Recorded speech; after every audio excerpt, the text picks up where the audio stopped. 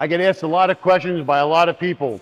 What do I have to do to put on a lot of muscle really fast? What does it take to put on that quality muscle? Do I need to take something? Do I need to change something? What do I have to do? Well, I'm going to tell you what you have to do coming up right after this. Hey guys, I'm Coach P and I'm here to answer your questions. A lot of people come up to me in the gym and say, How do I put on all of this good quality muscle? Or why am I not putting on all this good quality muscle? What do I need to do? What do I need to take? Well, there's a lot of answers for those questions, and there's a lot of misinformation that people get, whether they're looking on the internet or they're asking the other knuckleheads in the gym. I'm here to tell you the truth about how to put on good quality muscle. And the first place to put on good quality muscle is by following a good quality diet. Diet is everything. You can't come into the gym and train. Really, if you're training your ass off, that's a good thing. But you can't come in here and train your ass off and then leave the gym and go screw it up by having a bad diet. You cannot out train a bad diet. You just can't. What you do outside of the gym is more important diet wise than what you do inside the gym. You have to get the right amount of sleep, a good six to eight hours. You have to follow a good, high quality diet. Stay away from the processed foods. Stay away from the sugars. Stay away from the alcohol. Eat high protein, moderate complex carbohydrate intake, and a good quality fat intake from good quality fats. An example would be avocados. I eat one avocado a day. It's absolutely delicious. Diet is everything when it comes to putting on muscle in the gym. And when you're in the gym, you have to know how to train correctly. You just can't come in here and start slinging weights as heavy as you can and your six to eight rep nonsense. You got to come in here and train with the mindset that you're here to get a skin splitting pump. In other words, you should be training with moderate weight that you can handle for very high repetitions. And I'm talking over the 15 repetition range. Myself and my training partner, we train to failure on every exercise. Now, failure is different for everybody, and failure is going to be determined on the amount of weight you're using. So we don't train heavy. Now, he trains heavier than I do because he's 30 years younger than me but we train heavy where we can get the high repetitions, whether it's going to be a high repetition set or it's going to be a high repetition drop set.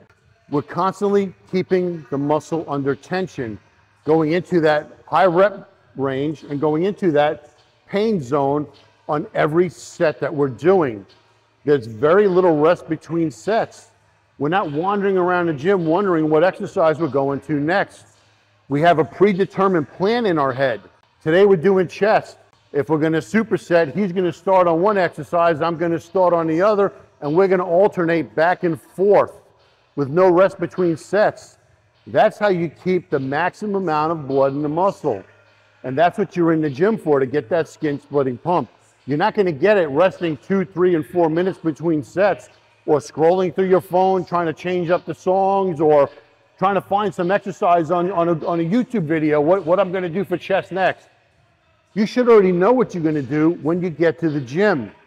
And once you get to the gym, you execute the plan. And you got to train the right way. You have to have the mind muscle connection. You have to be able to control the repetitions.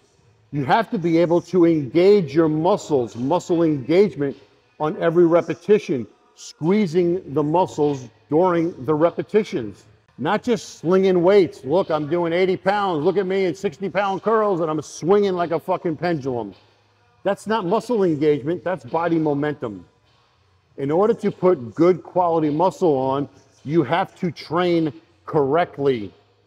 Muscle engagement, mind muscle connection. Put your mind into the muscle group that you're training tone out all the external distractions and concentrate on what you're doing. Progressive overload, call it whatever you want. That shit never existed back in the day. It was always high reps, high reps to failure. All the special terms and all these little spin-offs on all this different types of training. Just get in the gym and train. It's all about training to get the pump. High reps, high rep drop sets, limited rest between sets is what's going to stimulate muscle growth. And the most important factor is what you do outside of the gym in your diet. Everyone's diet's going to be different depending on your age and your metabolism. If you're an older guy, like myself, I'm 59, my metabolism is not as fast as it was when I was in my younger, my younger years. It just isn't. It's a part of getting older.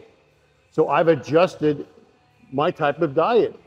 I follow a good keto diet. My complex carbs are next to nothing except vegetables, and I eat those a few times a week. I like to follow the, the keto slash carnivore diet. That allows me to burn my body fat and maintain my 265 pound muscular stature. If you're on the lean side, you got to consume more calories. If you want to gain muscle, there's a formula behind it. One gram of protein per pound of muscle, sometimes 1.2, 1.3. Some guys even say two grams. But two grams of protein on a 200 pound guy, that's 400 grams of protein. That's a lot of food. You're going to be eating all day long. I don't recommend that. I recommend one gram of protein per pound of body weight, and that should be suffice. That really should be sufficient enough for you to reach your goals, building muscle and burning fat. Diet is everything. If I learned one thing from Bob Gruskin, who was my coach back in the 80s, and he was the guru in the sport back and then before the word guru existed in the sport, was diet is everything. you can't outtrain a bad diet. You just can't. And I used to get a little chubby in the off season, and he used to say, you know, you got a show, you got a show coming up here in about six, seven months. You better start leaning out now. Oh no, I'm all right, Bob. I got it. I got it. In the last 16 weeks, I was fucking suffering because I was dieting so hard to get rid of the, the, the unnecessary fat that I put on because eh, it's not a big deal, Bob. I'll burn it off. Hard lesson learned, but it never happened again because I maintained that lean diet where I put good quality muscle on and I wouldn't get more than 15 pounds out of my competition weight. It made life a lot easier. And I walked around gym looking like I was ready to compete within two weeks because I always had my separation. I always had abs showing. It was a nice thing looking the part all the time. Not being a, a fucking a, a bloated bag of shit carrying on 40 or 50 pounds of excess weight. That's a son of a bitch to lose that 40 or 50 pounds when you're dieting. It's no fun. It's no fun at all. So, what are the secrets of putting on muscle? Or how do I get big really fast? You got to take it and you got to swallow the lifestyle. It is not an overnight success story.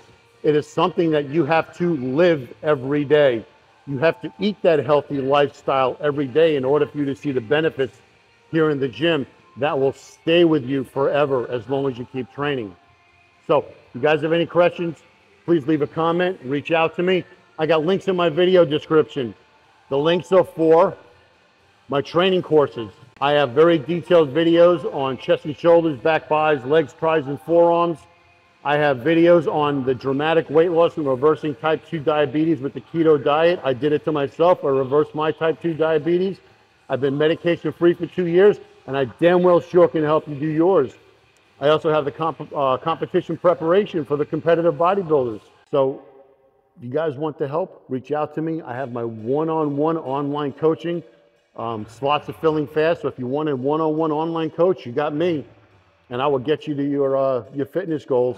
And there's a link for a free PDF file if you're unsure of how to get your fitness journey started. Put your email in that link, and I will send you weekly emails helping to guide you on your fitness journey. So until next time, I'll see you guys back in the gym.